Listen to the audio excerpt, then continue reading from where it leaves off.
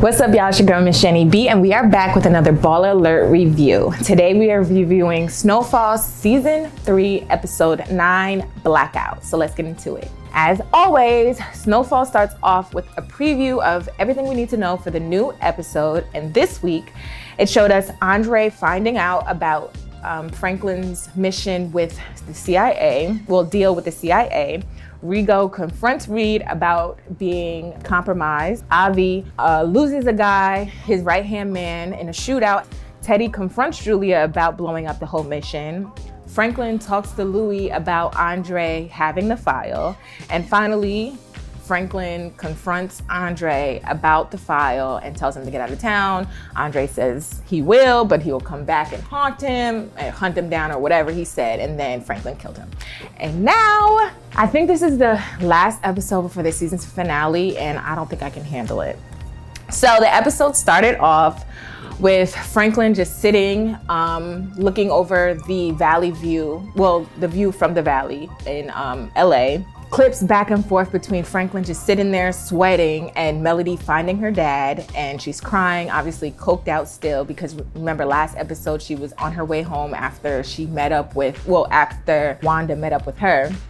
So she was like, F this, I'm leaving. So she was on her way home when Franklin was in the house.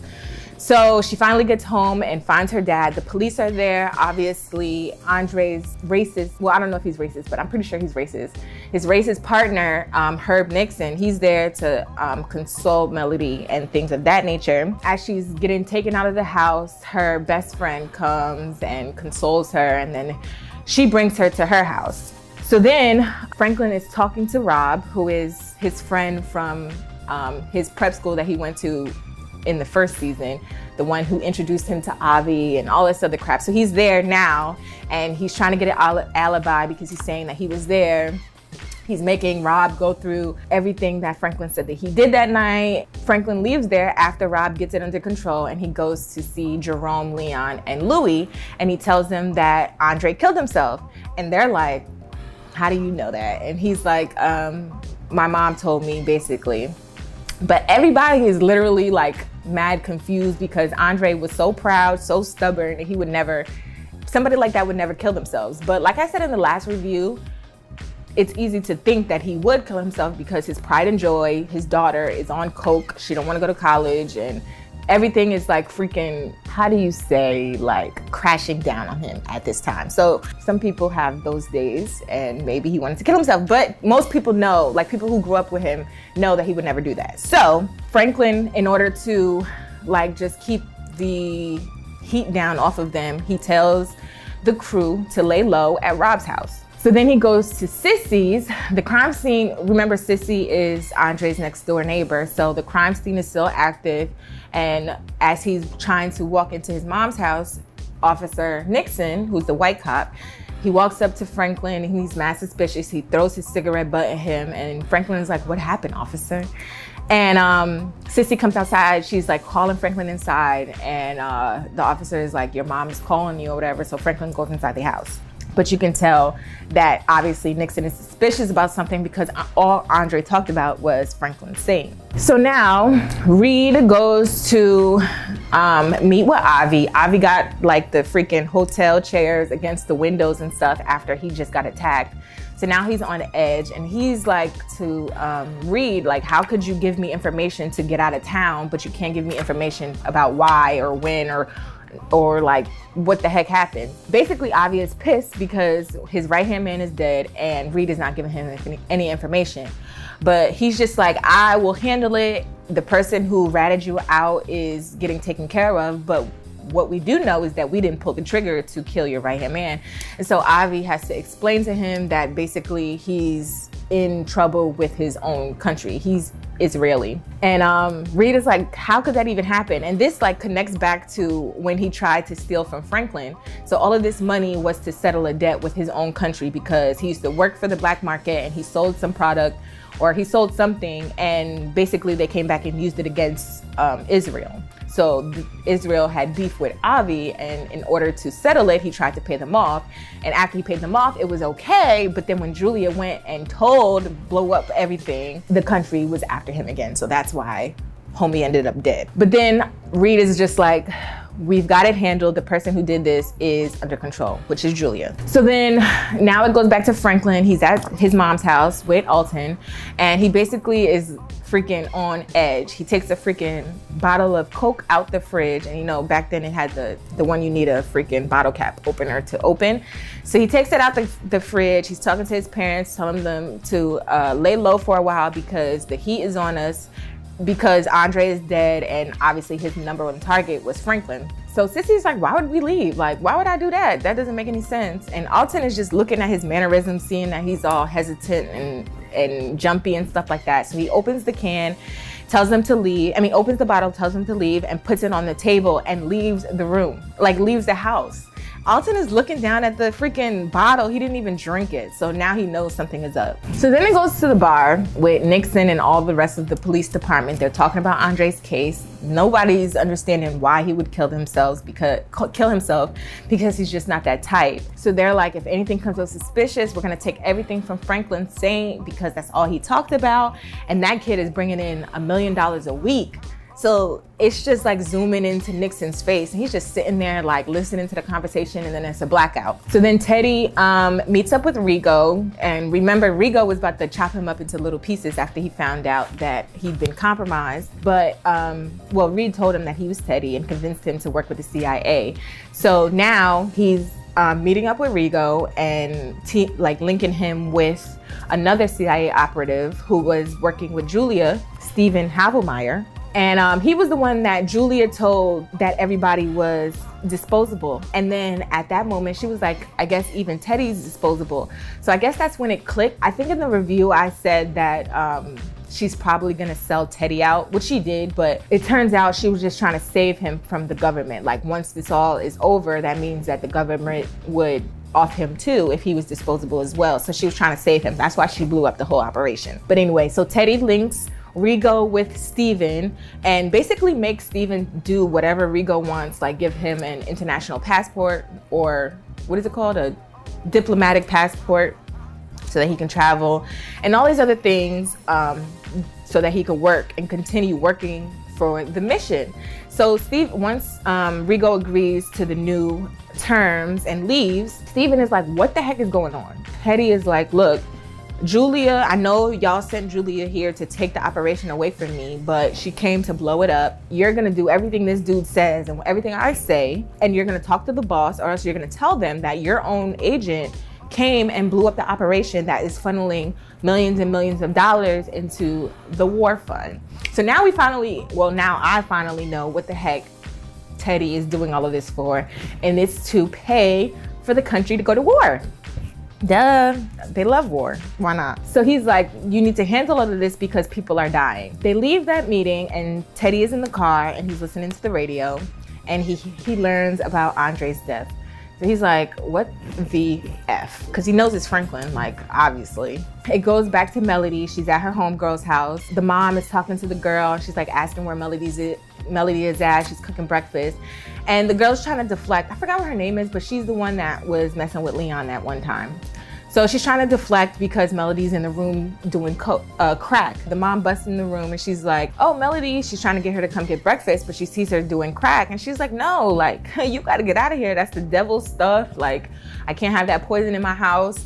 And the girl is just like, I just wanted her to like I wanted her to be here. I didn't want her to leave again or or that's why I let her smoke in the house because I didn't want her to keep running away. But the mom is like, nah, you gotta go. You gotta, I don't know where you gonna go, but you gotta get the F out of here. So she leaves. Now she's walking home again through the projects. Uh, but she's high, so she doesn't really care. So then Franklin and Leon goes to meet up with Manboy, and they're there to address Leon's little run-in with Manboy's dealer because they were arguing over territory and stuff like that. And then uh, he got beat up. And Manboy basically said he wasn't going to retaliate until he talked to Franklin because that's not how you do stuff around here because Franklin's the plug. They meet up and Manboy's like, look, I need new terms because Leon is out here trying to start problems. He's taking over my territory or trying to take over my territory and he's messing with my people. He's like, now I want my drops to be 10 a key. If not, then I'm gonna use Leon's head for my little football, or whatever. Franklin is like, well, prices stay the same, or you can get yourself a new dealer And Leon is family, so if you mess with him, you mess with me. And Man Boy is like, that's messed up. And Franklin's like, I know, but that's just how it is. They leave the meeting and they're driving. Leon's driving as always. And so he tries to spark the conversation with Franklin. He's like, thank you for having my back back there. And Franklin's like, park the car. You know, Franklin's on edge because he didn't kill the cop and he feels like everybody's onto him. So Franklin's like, pull over. He's like, you're telling me that you're sitting here trying to go to war with our partners. And Leon is like, every time I see him, he's trying to diss me and all this other crap, right? So then, first of all, this is like Emmy award winning acting right here. Franklin, Damson Idris, right? He looks to Leon. He's like, he starts screaming. He's like, um, I built this organization from the ground up and I'll be damned if you try to tear it down just because you don't like the way another nigga talk. Like, he was screaming at him though. If you keep this up, then you're just gonna have to find your own new dealer. And then Leon was like, um, you don't even mean that. He was like, try me. Like, obviously I do mean that. The argument is done. They're just sitting there in, in silence. And, and Franklin is like, drive the freaking car. He said some like F-bombs in there, but it was very, very, very intense. Finally, Melody gets home. Just before she sits down, she's crying like she's remembering her dad. It's all taped up with crime scene tape. So she sits down because she got to get the edge off. So she tries to light her crack pipe, but then she sees the window and she notices that it's freaking unlocked. And you know, the only person that's coming through her window is Franklin. And the only way that it could be unlocked is if he went out because she hasn't been there. So um, then she has flashbacks of Franklin coming in and out her window, and then it goes to the next scene. And the next scene is Franklin in the car. He hears all of these noises, like it's kids, a lawnmower, people sawing, and things like that. And he's sitting in the car. He literally has a panic attack. I think it's a panic attack because he didn't go to hospital, so it couldn't have been a heart attack, but he's tripping. Cissy goes to Melody's, well, he goes to Andre's sister's house. Is that Andre's sister? I thought she lived in Texas. So maybe I guess Andre's sister was at Andre's house. That's the only thing that makes sense. Cissy offers to host the repast for Andre because you know that they they've grown up with well the kids grow up with each other because they were next door neighbors. So Cissy offers to host the repast. She offers them money as well, but um, she's like Andre told me everything, and that's the devil's money. So I don't want anything to do with that. But she accepts the offer for the repast. So then Reed calls a meeting with Franklin after he hears about Andre. And so they're back in the diner.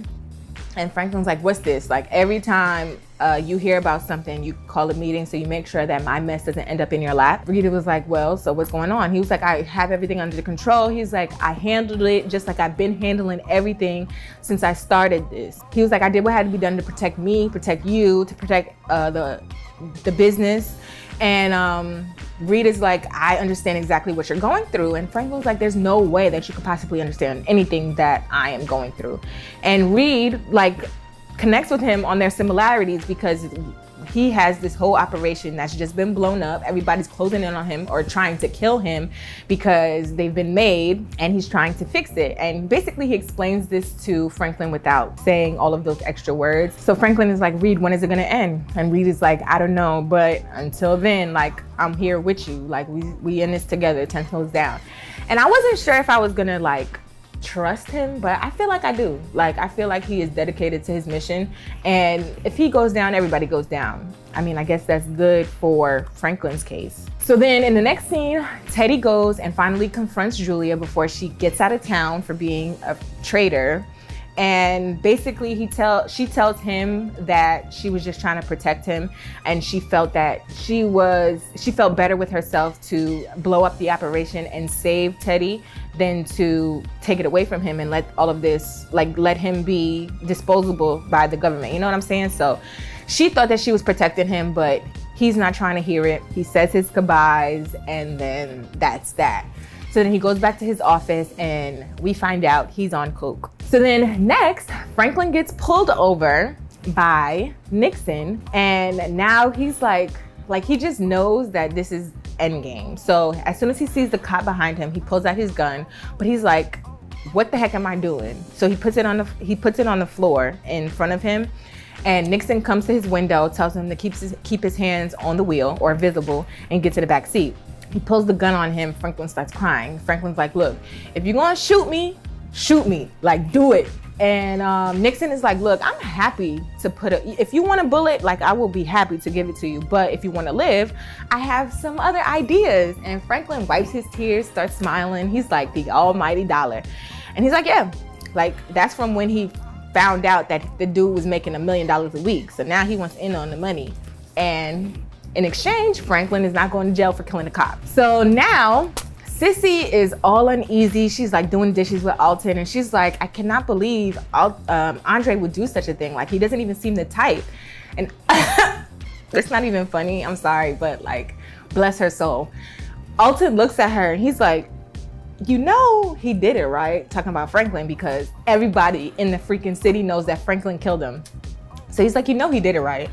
And Cissy is like, what you mean? He's like, Franklin hasn't been to Rob's in a valley in a long time. And like, this is just obvious. Like, and so she basically breaks down, coming to terms with the fact that her son killed Andre and that they're about to host the repast for him after, but bless her soul. So then Nixon takes the news to Melody and um, basically he sits her down and he's like, the results came back. Your dad, your dad died of suicide, and she's like, you know, that's BS. Like everybody knows that Franklin killed my daddy.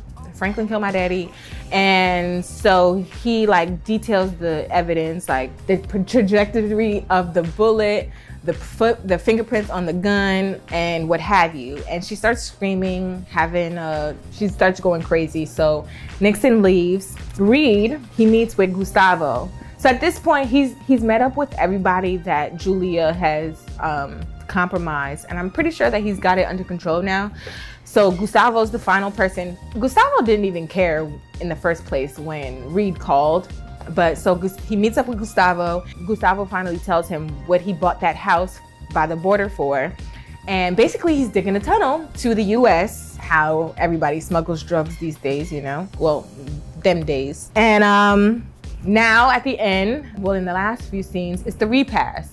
And so Melody is just sitting there crying, coked out, I mean, cracked out. She's scoping the room. She sees Franklin. She's just staring at Franklin, and then it's another blackout. So she leaves during the blackout. But Franklin notices, and so he follows her. And so she's in her house, scrummaging through everything, and Franklin is right behind her. He's like, Look, Mel, you don't need that. Like, he thinks that she's trying to look for coke. He's like, You don't need any of that stuff. So she's going through the drawers and everything. She goes in the closet and she comes back out with a gun. She points it at Franklin and shoots him in the shoulder. And so now he's like, Melody, Melody, what you doing? He's like trying to crawl away.